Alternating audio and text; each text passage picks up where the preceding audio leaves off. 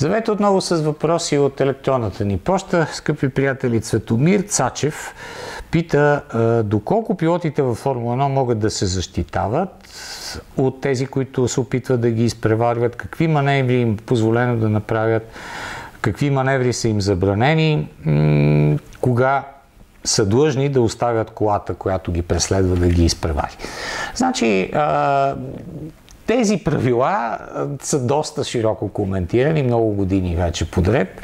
Пилотите в настоящия формат на Формула 1 имат право, според така разписаните правила, да направят при е, евентуална атака от съперник една маневра, с която да се защитят. И нямат право да правят друга. т.е.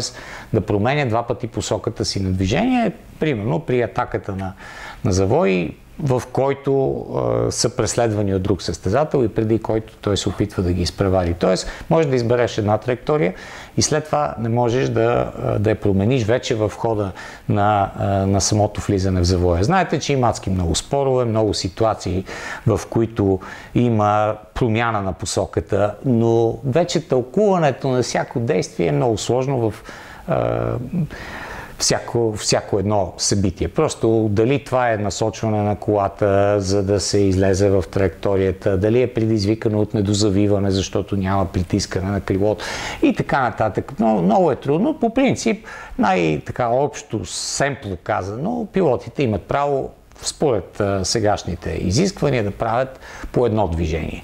Това, че те правят по повече, е вече е, съвсем друга тема. И кога са наказани, кога не са, също.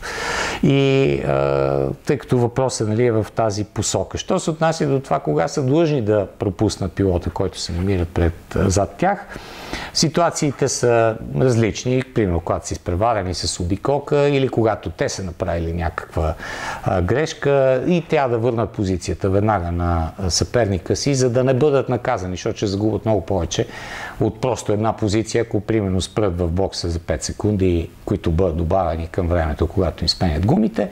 Така че има такива ситуации, при които просто трябва да пропуснат съперника си.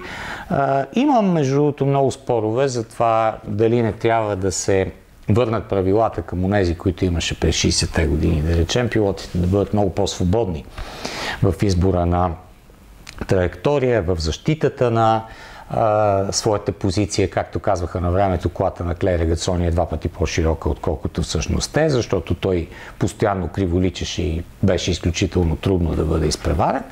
Така че а, има такава а, нагласа в а, част от а, хората, които сега още нали, съвсем изчистват всички правила в а, оформянето на Формула 1 2022 година и нататъка да бъдат малко по-свободни състезателите в действията си, още повече, че самите коли ще позволяват повече атаки, защото турбулентната опашка ще е по-малка, ще може по-близо да се движи задния автомобил до предния, да го атакува, да го изпревари и вече пък пилота, който отпред ще бъде по-свободен да се защитава, но съществуват и много опасности от контакти, от удари, от опасни катастрофи, което е наистина а, нежелано в а, модерната Формула 1.